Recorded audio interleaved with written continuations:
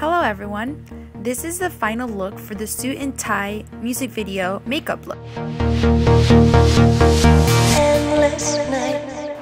First, I'm going to start with the Revlon Color Stay Whip Foundation. I will be using two concealers for this look. First, I'll use this MAC NW25 concealer. Just make sure to apply it on top of the eye and under the eye. On top of that concealer, I'm going to use the Kat Von D in Light.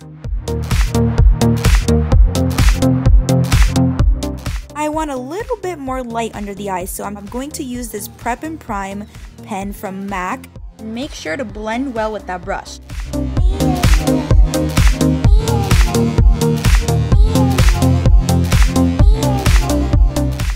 Next, like I always say, the eyebrows are very important, so make sure to define your eyebrows.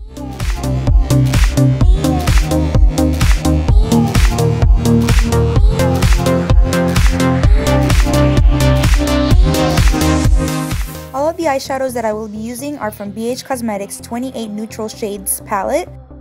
Start off by sweeping this brown eyeshadow on the crease with this beige frosty shade applied on the brow bone.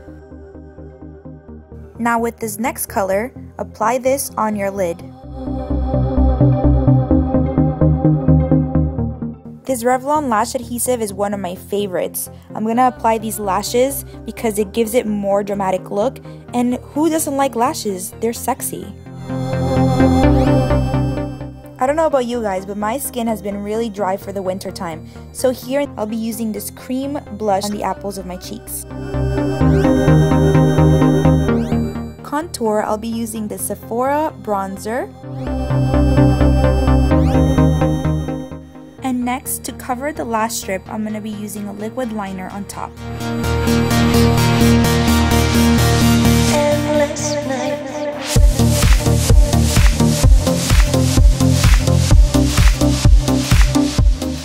I'm using L'Oreal Telescopic Mascara to blend the false lashes and my own lashes together.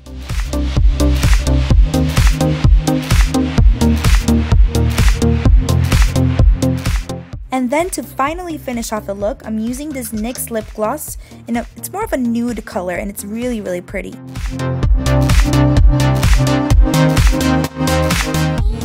I hope you enjoyed this video, and again, check out for more. Bye!